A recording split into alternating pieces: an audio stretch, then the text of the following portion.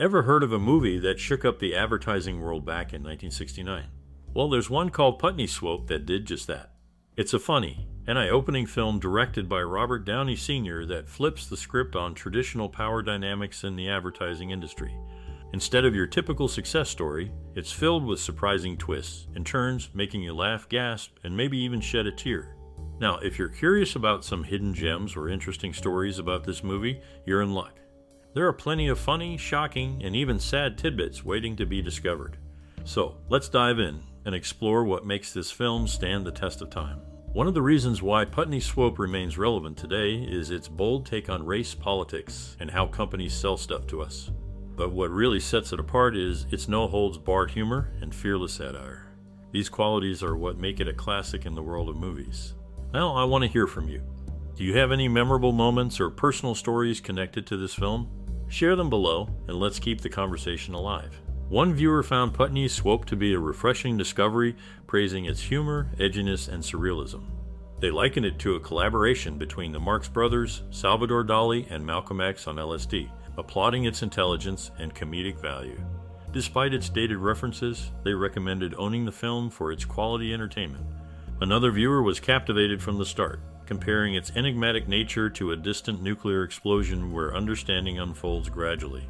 They highlighted its relevance to blaxploitation films and its insightful portrayal of mass media manipulation through advertising.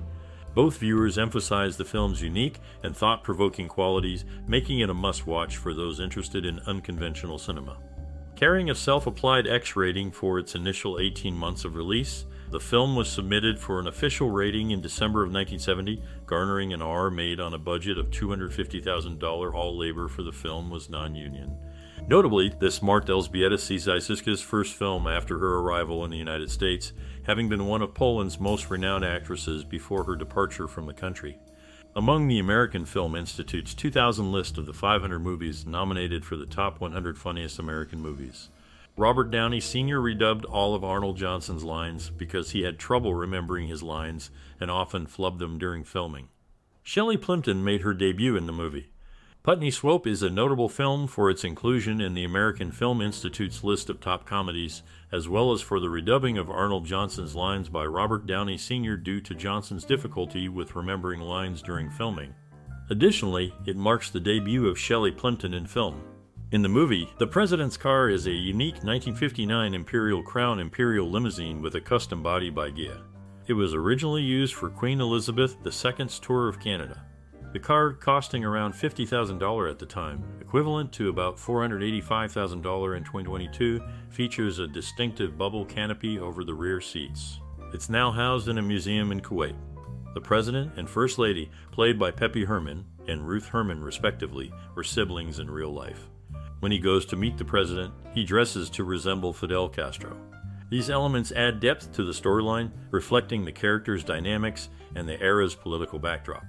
In a notable scene of the movie, a real homeless man was hired for $10 and four bottles of wine to add authenticity to a scene shot in a garbage strewn alley in Manhattan. He performed perfectly by drinking the wine and passing out on a pile of trash. Also, the car featured in a commercial, known as the Borman 6, was actually a 1959 Fiat 18200 Grandview Spider. Notably, Mel Brooks has made significant contributions to cinema, appearing in and directing several films, including Putney Swope, recognized by the Library of Congress for their cultural significance. Louis C.K. has cited this film as his favorite. It was chosen for preservation in the National Film Registry by the Library of Congress in 2016.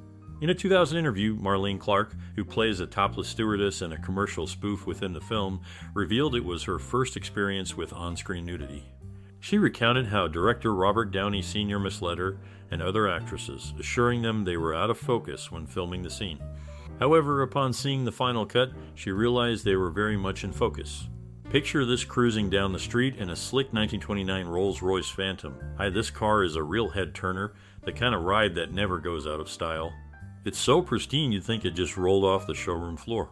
Nowadays, a beauty like that could easily fetch over 100,000. Dollar now, here's the kicker this car isn't just any old set piece. It's a star in its own right, featured in the Eclipse Series 33 Up All Night with Robert Downey Sr. DVD collection.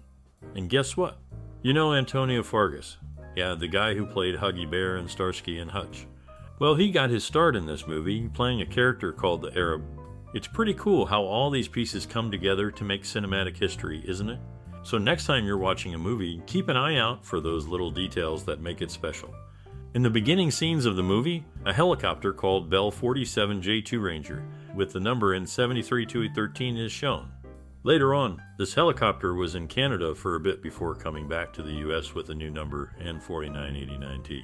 This particular type of helicopter was the first one used for the president's travel, starting with Dwight D. Eisenhower. One interesting thing about the cast is a character named Mr. Forget It, played by Mel Brooks. However, it's not the same famous Mel Brooks most people know. This Mel Brooks is not as well known as the other one you might be thinking of. These details give us some neat insights into how the movie was made, like why they chose a helicopter and who they cast for certain roles. It's little stuff like this that makes the 1969 film stand out. In an unexpected turn, the 1969 film Putney Swope had a tragic connection to real life events. Regrettably, halfway through production, one of the lead actors unexpectedly passed away, casting a somber shadow over the set.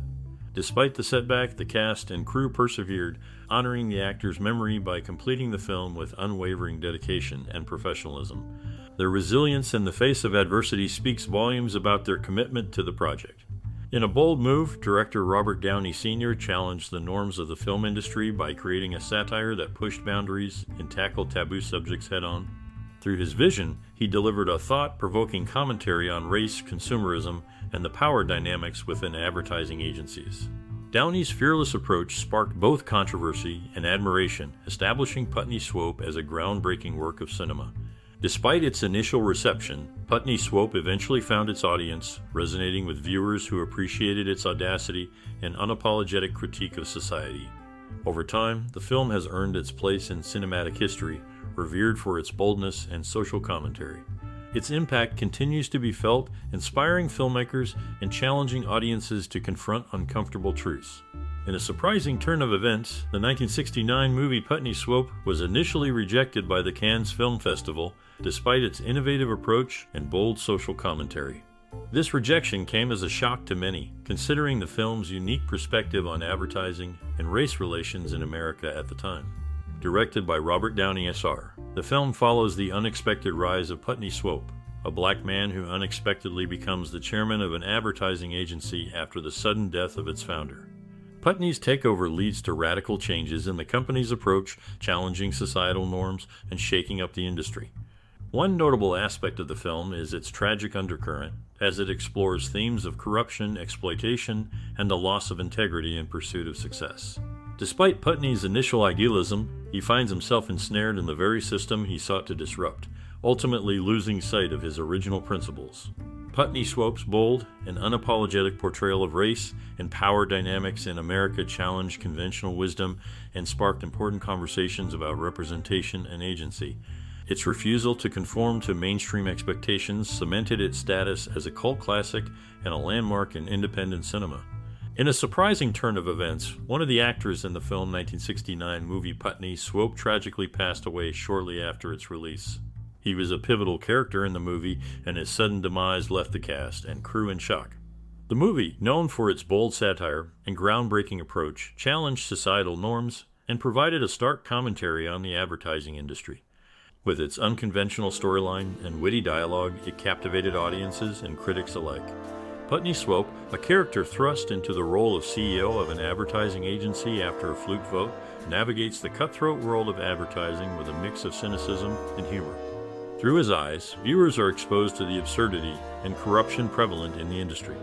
Despite its initial mixed reception, the film gained a cult following over the years, praised for its boldness and willingness to tackle taboo subjects. It remains a significant piece of cinematic history, showcasing the power of satire in addressing social issues.